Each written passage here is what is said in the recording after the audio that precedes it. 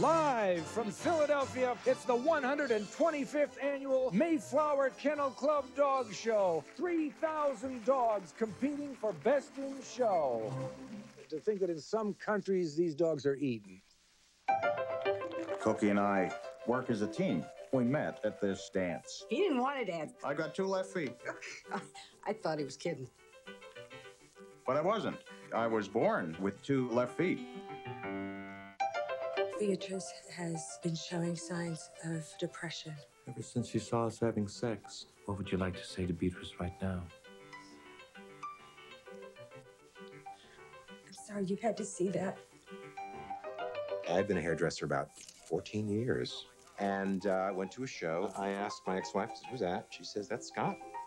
We got top loin, porterhouse, T-bone. We got everything. So basically, you know, meat. Leslie and I have an amazing relationship. People say, oh, but he's so much older than you. And you know what? I'm the one having to push him away. we both love soup.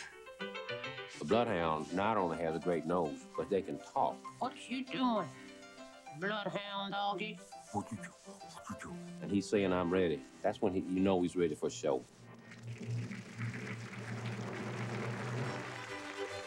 That goal is that best in show ribbon. Actually, Oh. poodle means um, puddle in German. You want your busy bee? Come with your busy bee. God, if she doesn't get a toy, she's gonna flip out! It's not in here.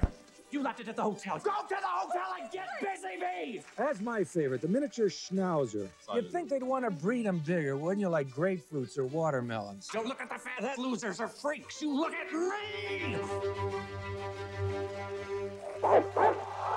He went after her like she's made out of ham.